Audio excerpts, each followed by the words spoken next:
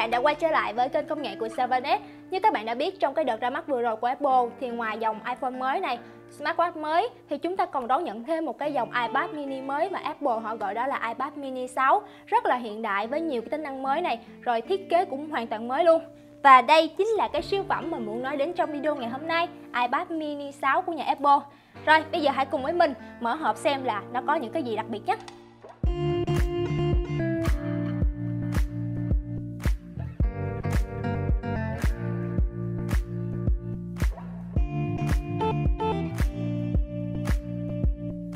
Thật thực ra mà nói thì mình cũng chỉ vừa mới mượn cái siêu phẩm này cách đây nửa tiếng trở lại thôi, Cho nên sẽ có rất nhiều thứ mà mình cũng chưa khám phá được hết trên cái dòng iPad mini 6 lần này của Apple. Rất hy vọng mọi người sẽ có thể bỏ qua cho mình với những cái thiếu sót trong video lần này nhé. Như các bạn thấy đây thì vẫn còn nguyên siêu luôn nhé.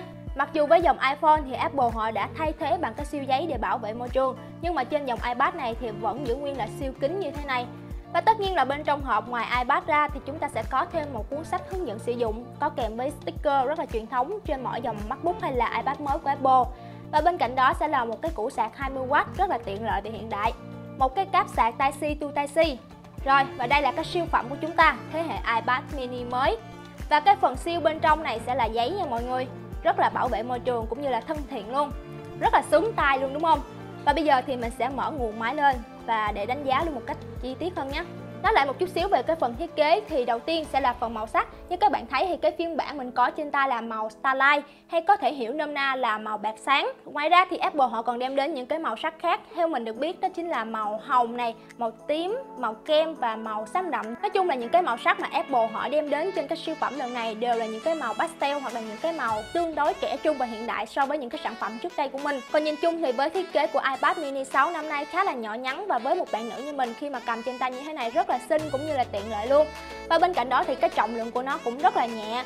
Và cái việc được vác vuông phẳng cái cạnh viền như thế này tạo ra một cái thiết kế rất là mới cho dòng iPad mini 6 năm nay. Và với cái kiểu khung viền vác vuông như thế này là mình liên tưởng tới dòng iPad Air mà trước đây Apple họ đã cho ra mắt. Nhưng mà không ngờ là năm nay Apple họ lại sử dụng nó lên trên thế hệ iPad mini của mình. Nhìn nó cứ như là một cái phiên bản thu nhỏ của iPad Air và iPad Pro 2018 này á.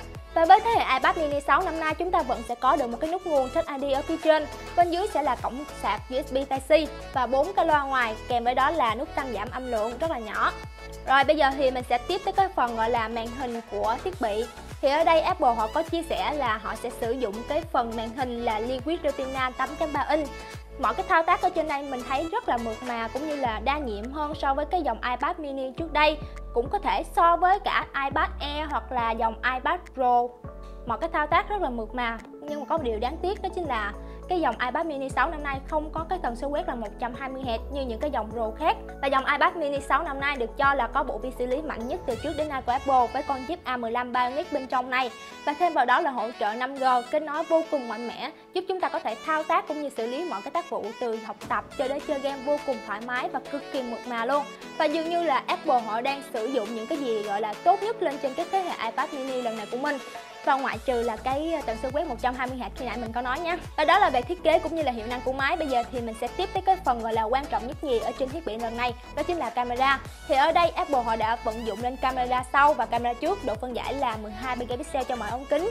Cùng với đó là rất nhiều cái tính năng như là quay ờ, central Stay này hoặc là quay video 4K, HDR, chụp xóa phông vân vân rất là hiện đại và đầy đủ những cái tính năng cần thiết cho chúng ta học sinh hoặc là làm việc online chẳng hạn. Và riêng đối với tính năng central Stay là một cái tính năng mà Apple họ đã trang bị lên cái thế hệ sản phẩm mới lần này của mình. Với cái tính năng này sẽ đảm bảo bắt trọn mọi cái khung hình rất là thích hợp cho chúng ta học hoặc là làm việc online trong cái mùa dịch này. Và với cái hệ thống camera cũng như là cái kích thước nhỏ gọn như thế này, mình nghĩ nó sẽ phù hợp với các bạn học sinh sinh viên dùng để học Zoom hoặc là học online trong cái mùa dịch lần này. Và như mình đã nói ở những video trước, nếu các bạn không thích cái sự nhỏ gọn của smartphone hoặc là quá lớn từ iPad thì các bạn có thể lựa chọn iPad mini, đặc biệt là với iPad mini 6 như thế này. iPad mini 6 là mang trên mình thiết kế rất là nhỏ nhắn và xinh xắn này và vô cùng hiện đại hiệu năng lại mạnh, camera đầy đủ những cái chế độ y hệt như một chiếc smartphone, màn hình lại đủ rộng để các bạn có thể sử dụng cho việc học tập lẫn giải trí thì các bạn nên tạo cho mình một cái sản phẩm như thế này tại nhà nhé. Và nếu các bạn quan tâm thì có thể truy cập vào đường link bên dưới để đặt hàng ngay tại 7 với mức giá cho bản 64GB là 14 triệu 490 000 đồng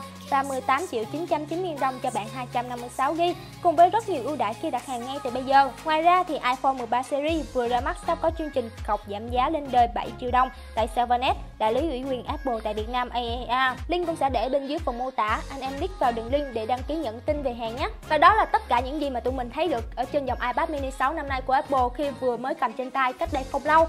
Thì rất cảm ơn các bạn đã xem hết video này. Nhớ like, share và subscribe để ủng hộ cho kênh nhé. Xin chào và hẹn gặp lại.